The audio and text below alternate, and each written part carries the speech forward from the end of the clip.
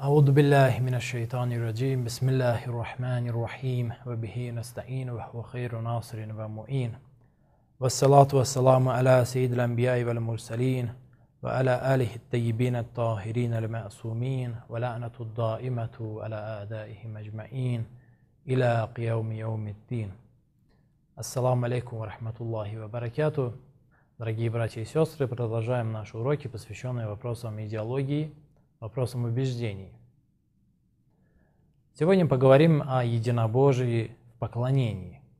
И прежде чем приступить к обсуждению данного вопроса, нам необходимо определить, что означает слово поклонение, что мы включаем под понятие поклонения, что мы подразумеваем под этим понятием. Дело в том, что поздние мусульмане, некоторые мусульманские деятели и ученые заблудились, очень сильно заблудились в этом вопросе и представили истину немножко искаженном свете, понимая под поклонением исключительно физические действия, какие-либо внешние деяния. То есть, например, если они видят, как один человек склоняет голову перед другим человеком, не говоря уже о том, чтобы совершить перед ним земной поклон, согласно мнению этих мыслителей, этих людей, этих ученых, по правде говоря, псевдоученых, по их мнению, это является поклонением. И также все остальное проявление смиренности, все остальное проявление приниженности, самоприниженности, все это является поклонением. Все проявления, не обратите внимания, мы говорим о проявлениях. Они утверждают о том, что именно проявление есть поклонение. И самым ярчайшим проявлением самоприниженности, покорности является земной поклон. То есть земной поклон – это физически и внешне апогей и вершина самоприниженности, самоподчиненности, преклонения перед кем-либо или перед чем-либо. Земной поклон. Но эта точка зрения является ошибочным, ошибочной точкой зрения, искаженной точкой зрения. Истина заключается в том, что поклонение состоит из двух компонентов. Первым компонентом является убежденность в том, что тот, кому он поклоняется, является самодостаточным, как минимум является Творцом. Или же, на крайний случай, является его Господом, то есть тем, кто управляет им, управляет им и всем тем, что окружает его. То есть, как минимум, подобное убеждение должно наличествовать в поклонении. Убежденность в том, что тот, кому он поклоняется, является Господом.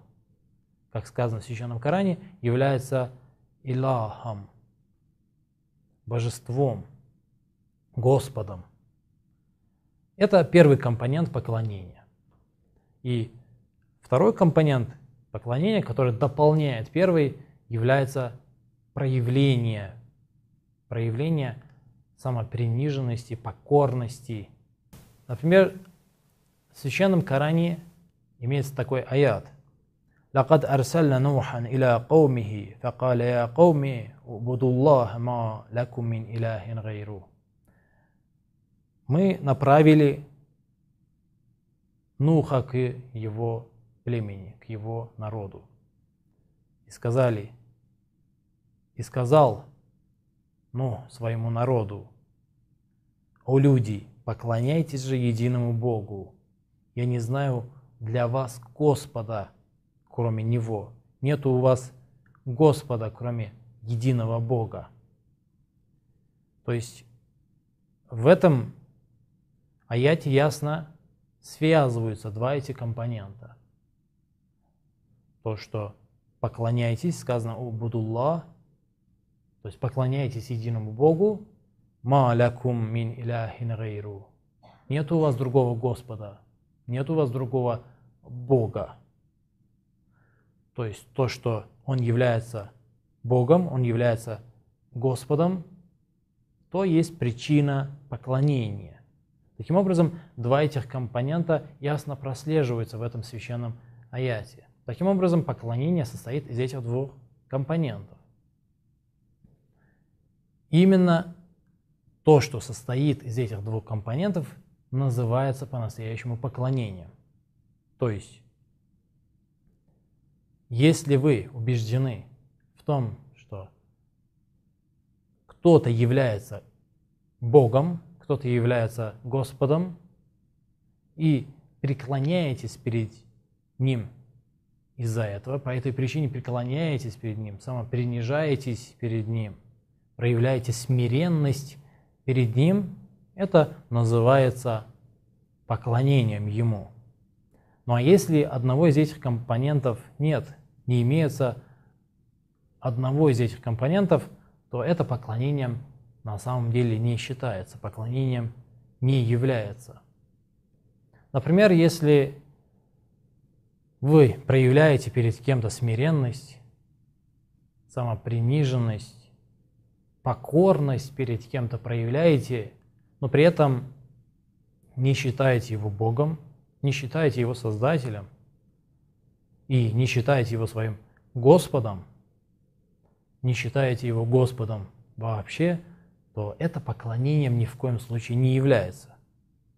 Например, в Священном Коране имеются аяты, указывающие на ряд очень важных моментов по данному вопросу. Например, в Священном Коране говорится о том, что Всевышний приказал ангелам поклониться Адаму, первому человеку, праотцу человечества. То есть приказал совершить перед ним земной поклон. Земной поклон является вершиной самоприниженности, является вершиной смиренности перед кем-либо.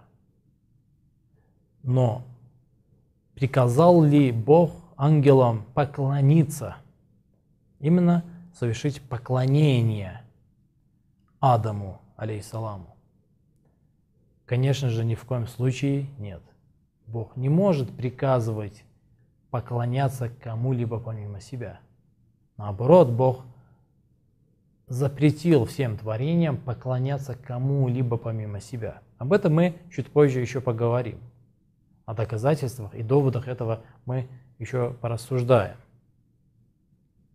Таким образом, мы видим, что ангелы, которые совершили земной поклон перед Адамом по приказу Бога, совершили действие, которое является вершиной, апогеем самоприниженности перед кем-либо.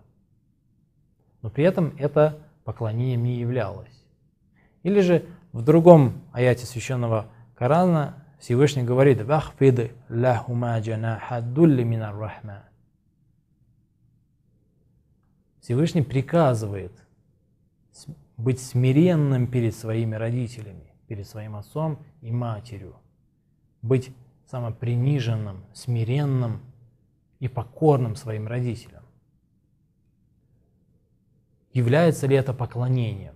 Конечно же, ни в коем случае не является поклонением. Всевышний же не приказывает человеку поклониться своему, поклоняться своим родителям. Ни в коем случае. Почему? Потому что здесь имеется всего лишь один компонент. Отсутствует второй важный компонент, второй необходимый компонент для того, чтобы это было поклонением. И даже более того, в другом аяте Священного Корана сказано следующее. «Вахарру лаху суджадан». وقال يا أبتي هذا تأويل رؤياي من قبل قد جعلها ربي حقا В этом аяте передаются слова его светлости Юсуфа, алейхиссаламу который во сне увидел, как поклоняются ему звезды. Это сура Юсуф, начало и конец этой суры. А в конце суры повествуется о том, что его отец вместе со своей, с его братьями и его матерью совершили перед ним земной поклон. Вахару ляху суджада. То есть они совершили перед ним земной поклон. И тогда его светлость Юсуф сказал, что это есть толкование того сна, который я видел ранее. И в этом аяте ясно и недвусмысленно сказано о том, что Якуб, алейхиссалам, который был посланником Бога, совершил земной поклон перед своим сыном. Можем ли мы допустить, что Якуб, алейхиссалам, совершил поклонение перед Юсуфом, алейхиссаламом? Конечно же нет, ни в коем случае. Он был божественным посланником, был примером для всего человечества и не мог нарушать законы и приказы Бога. Он был смиренен перед Богом, он был послушен Богу. Но мы видим, что он совершил земной поклон перед своим сыном. Почему же это не является поклонением? Потому что для него его сын не был Богом. Он не был убежден в божественности своего сына. Не был убежден в том, что его сын является Творцом небес и земли. И не был убежден в том, что его сын является Господом небес и земли. Наоборот, он прекрасно понимал, что он и его сын являются рабами Бога. И с подобными убеждениями подобные проявления, подобные действия не могут ни в коем случае считаться поклонением. Поэтому совершенным заблуждением является то, чтобы полагать поклонение и ограничивать поклонение внешними проявлениями. Согласно мнению этих псевдоученых, в числе которых Ибн Таймия, Мухаммад ибн Абдуль-Вахаб и их последователи, их ученики, согласно их учению, согласно их точке зрения, нету на земле ни одного человека, в том числе и среди пророков, которые бы не совершали многобожие, не были бы многобожниками.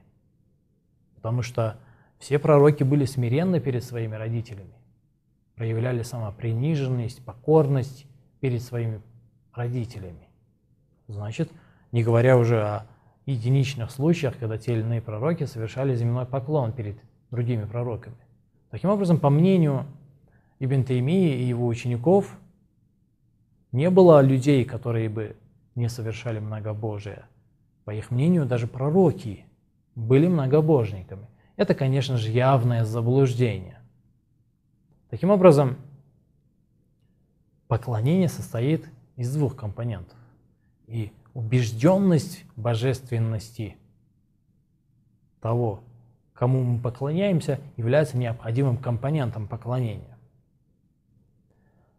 И вторым компонентом является внешнее проявление. То есть если мы будем убеждены, что Бог единый является нашим Творцом и Господом, Он создал небеса и землю, Он является Создателем небес и земли, Он является управляющим небесами и землей, мы будем убеждены в этом, но при этом не будем проявлять самоприниженности, не будем проявлять покорности и смиренности перед Ним, то ни в коем случае наши убеждения не будут считаться поклонением. Поклонение является совокупностью двух этих важных компонентов. Это, к слову, о том, что есть поклонение. И после того, как мы разобрали значение понятия поклонения, мы можем приступить к рассмотрению вопроса о единобожии в поклонении, что мы и сделаем на следующем нашем занятии. На этом все. Вассаламу алейкум ва рахматуллахи ва баракату.